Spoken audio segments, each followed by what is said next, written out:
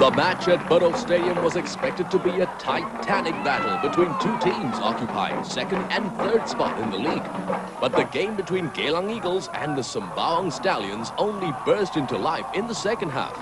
The introduction of Indra Sahdan for Geylang proved the turning point. Eight minutes after the break, a defensive slip allowed Indra to break free, but his shot was just blocked by the diving Ture El Haji.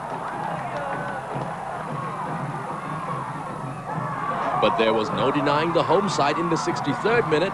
A fast break down the right flank by Indra. A combination with Warren Spink, whose final layoff to Ahmad Latiff proved the killer blow as the youngster buried the ball with deadly accuracy. 1-0 to Geylang. Five minutes later, Mohammad Noor Rahman got past a shaky Sembawang backline and played provider for Warren Spink, who showed that he's still one of the best finishers around. Geylang two up. The Stallions were reeling. And they were hapless as the Eagles swooped in from the flanks. Ahmad Latiff catching Ture El Haji out with a shot instead of a pass in the 71st minute.